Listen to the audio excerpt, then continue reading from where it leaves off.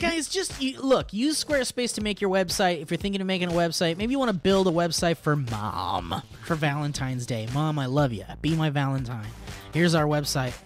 My website to me and my mom. me and my mom Valentine.com. it's not a bad idea.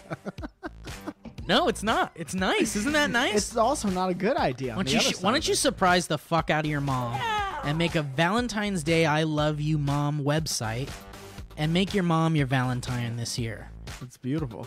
Take your mom on a on a nice romantic date. D- go to a Starbucks and edit the website together. Have a candlelit dinner with your mom. then afterwards, see where it goes. Who knows? And the thing is, is if you build the website, imagine how much Mama would love that. Mama's gonna give you three kisses after that website. If you send her that link, Mama and me, Mama's my Valentine.com.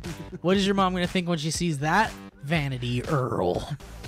is, is your dad gonna be jealous of how great your website looks? Maybe you can make your dad a Valentine's Day. Why don't you make your dad a Valentine website?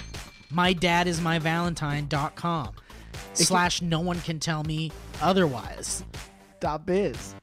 Dot mind your own biz. Mind your own dot biz. this has been